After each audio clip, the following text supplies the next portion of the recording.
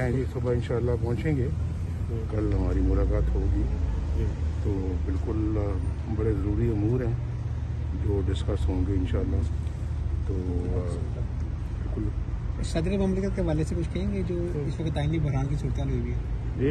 सदर पाकिस्तान ने जो इस वक्त आइनी बहरान पैदा किया हुआ पाकिस्तान में ना फैसले करके किसी के साथ। ये तो सर से पाँव तक जो सबका गवर्नमेंट थी वो बहरान ही पैदा करती रही है हर शोबे में।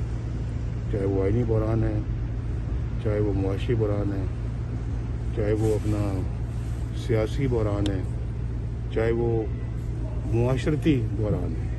यानी मुआशरती भी बहरान पैदा कर दिया। आज देखें हमारा जो कौम का कल्चर जो है वो यानी कि बदल के रख दिया है और बदतमीजी सिखा दी है। अ, बिल्कुल अफसोसनाक तरीके के साथ गुफ्तु गुफ्तु एक कल्चर नया कल्चर को बुनियाद दी है उन्होंने हमारी तो ये ट्रेडिशन नहीं है।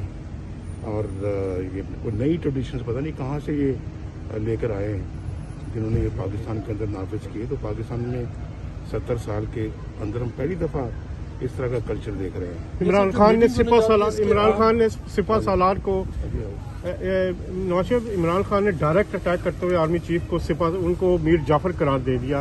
अहमदाबाद की जो जलसा है क्या ये डायरेक्ट अटैक नहीं है पाकिस्तान की सलामती पे और खासतौर पे जो भारत कहना चाह रहा था वो नहीं क्या कर पाया जो इमरान खान साहब कर रहे इमरान हैं खान ने वो तबाही मचाई है पाकिस्तान के अंदर।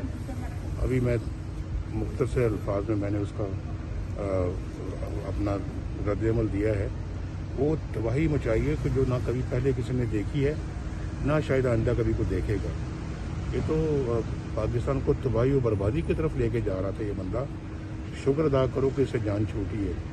और इंशाल्लाह जान अब छूटेगी आइंदा हमेशा के लिए। थैंक यू आर्टिकल सिक्स लगना चाहिए सदर ममलिकत पे जो वो कर रहे हैं।